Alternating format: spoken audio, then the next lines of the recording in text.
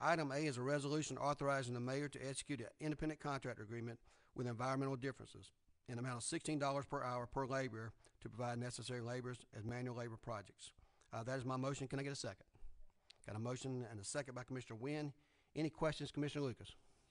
Um, Mr. Mayor, I was gonna move to approve, um, items A, B, C, and D.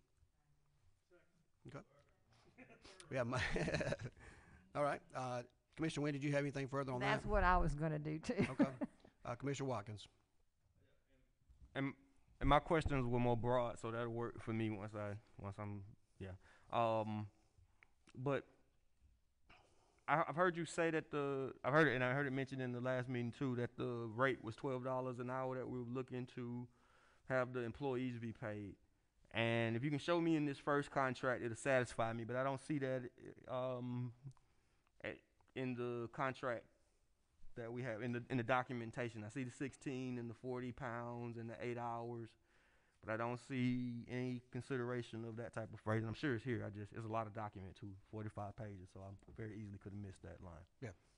I'll ask the attorneys to come forward on that, uh, just to assure Commissioner Watkins that that was part of our invitation to bid, and we only selected those that could pay at least that amount. And my other question while they're working on that was, if we're twelve dollars, if we were hiring full time labor, or if we were hiring someone, I guess even as a temporary seasonal employee for the county, what does that equate out to? Like I, because I, I, I know a lot of this theory is that the sixteen dollars that we pay is ultimately less than what it would cost us to pay a part time employee because of taxes and benefits and that type of thing. So I'm just curious.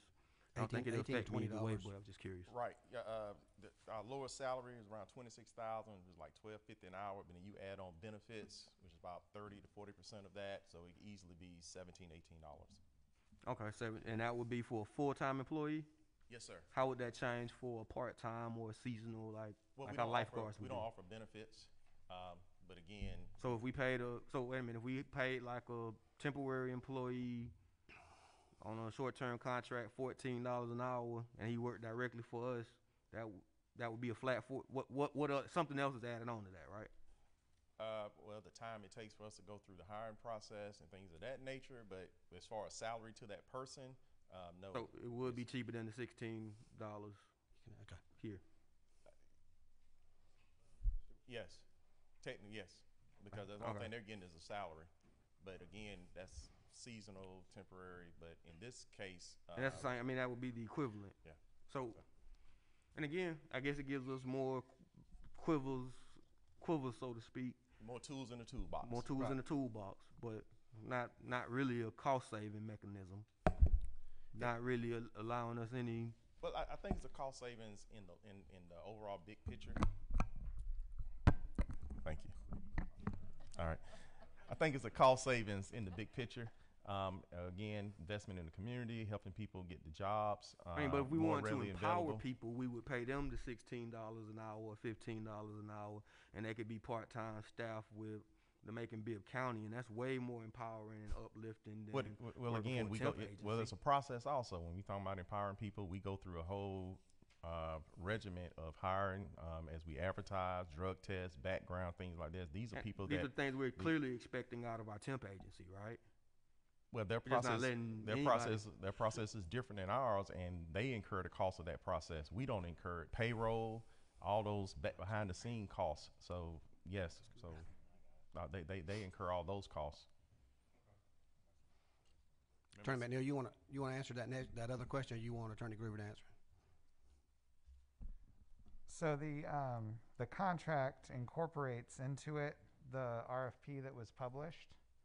And so just looking at the first one, um, on page, um, seventeen, it's page four of the exhibit, page seventeen of the PDF, it says vendor shall compensate day laborers at a rate no less than twelve dollars an hour. That was, that was published as part of the RFP, and that's incorporated into each of these four contracts, those, those terms and requirements. So, if I'm right, that's the RFP that you're reading. Right, it's But like we're not actually in the contract that the vendor has with us. He's not reconfirming that. The RFP is an exhibit to the vendor contract, so Okay. it's, it's part of it. Yes, sir. So just just it would have eased my mind a lot. It seemed like in that compensation section, if it would have covered such a thing, but there, but that's because it's implied, and clearly everyone understands that it's implied. I'm not an attorney, but it's clearly implied. No one would make the mistake of paying somebody ten dollars an hour because we've clearly explicitly said twelve here. Right, they would be in breach of the contract if they're Okay. paying less than that. Understood. Yes, sir. Understood. Thank you. I think one other thing to, to add to this, not to belabor the point, is that each of these companies can provide anywhere from ten to twenty people that we need. So we have four of these folks that we could, if we needed sixty or eighty, uh, we could get fairly, uh, quickly and easily. We tell them where to report at, how much it is, um, I mean, how many people we need, and we go accordingly to the, what they may have in their, in their, um, in their bucket there, but we can't do that. I mean, we, we've had, we tried to fill positions for solid waste, parks and beautification, and public works, and with the turnover that we've had, we've been able to fill those positions. So it would help, and I think, Mr. Watkins, you, you have um, advocated for getting grass cut on a, on a more regular basis. Uh, we can't do it with the staff. Uh, we went through some numbers with you to uh, indicate how much, if we were to do that that many times, how much it would cost. Uh, we couldn't even provide the personnel to do that on a hiring basis. So this is just to actually help us be more efficient. Whether we choose to use them or not, it's going to be based on the needs. It's not just these these groups as well. Uh, Bowden needs grass cut out there instead of hiring a full time person to cut grass at Bowden. You've got that. Uh, you've got the uh, Public Works. We've also got um, I think Tobesofkee instead of hiring a full time maintenance person, and you can't use jail labor out there. They've they've got people there as well. Um, all those folks uh, are asking for people that we can't provide them as far as the, the number of workers there. So th- this goes to all of it.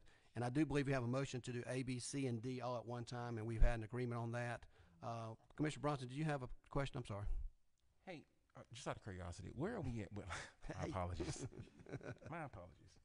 Hey, where are we at with like adopt a road type programs? How we are we are we managing or tag team with them to kind of come in, or are we promoting that deal where if a church wanted to adopt a, a right of way or what it may be, that they can go out and, and they be in charge of cleaning that area up? Or, I mean, that, I think that would kind of be the route to take in this situation here to uh, minimize That's going to be part of the Clean Streets Matters. We've had it before. It's, it's kind of been abandoned